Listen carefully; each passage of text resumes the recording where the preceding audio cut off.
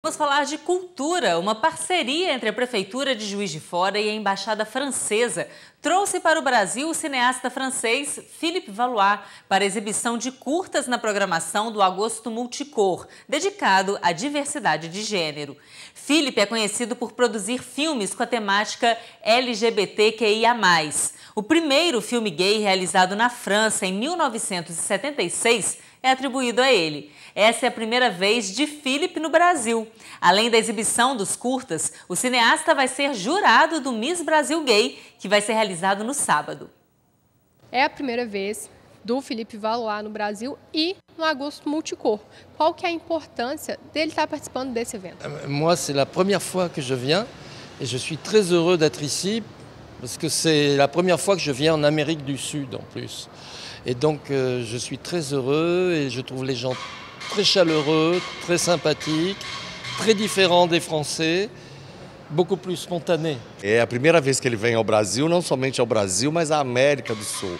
E ele está adorando, porque nós somos muito acolhedores, sorridentes, expansivos. Isso tem deixado ele muito feliz, porque é, nós somos muito diferentes dos franceses. E sobre ele estar participando do Agosto Multicor, com a amostra dos curtas, né? Qual que é a importância para ele na vida dele e também para a população, para a comunidade LGBTQIA+. Je pense que mes films euh, ne sont pas totalement gays. Ils sont pour montrer, pour essayer de faire comprendre ce qu'est l'homosexualité, mais essayer de le faire comprendre aux hétérosexuels aussi, Tu vois, moi, pas pour les gays que je fais les films.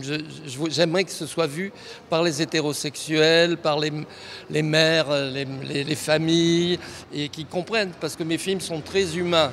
Ils ne sont pas revendicatifs, euh, je suis gay. Euh, non, mes films sont très ouverts sur la, sur la société, sur les autres. Ele fala sobre a questão homossexual, mas os filmes dele não foram feitos, não são feitos somente para a comunidade homossexual. Ele, através das imagens, da narrativa, tenta mostrar, colocar a discussão para pessoas héteros, para famílias, para senhoras. Ele tenta, ele não fala só para os gays.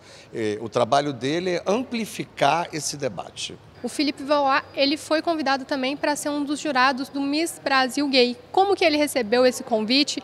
Também da importância. Ça m'intéresse beaucoup. Et je vais filmer, j'amène ma caméra, je vais filmer, et je vais faire le jury et filmer en même temps.